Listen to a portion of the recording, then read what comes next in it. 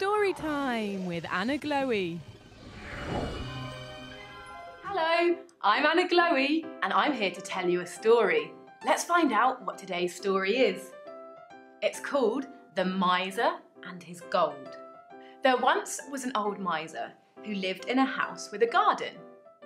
The miser hid his gold coins in a pit under some stones in the garden. Every single day, before going to bed, the miser went to the stones where he hid the gold and counted the coins.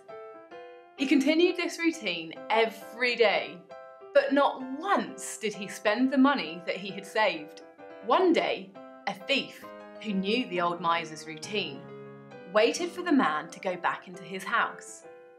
After it was dark, the thief went into the hiding place and took the gold. The next day, the old miser found that his treasure was missing. Oh, and he started crying loudly. Boo! His neighbour heard the miser's cries and inquired about what happened. So why didn't you save the money inside the house? It would have been way easier to access the money when you had to buy something. Buy? said the miser. I never used the gold to buy anything. I was never going to spend it. On hearing this, the neighbour threw the stone into the pit and said, If that's the case, save the stone. It is as worthless as the gold that you have lost.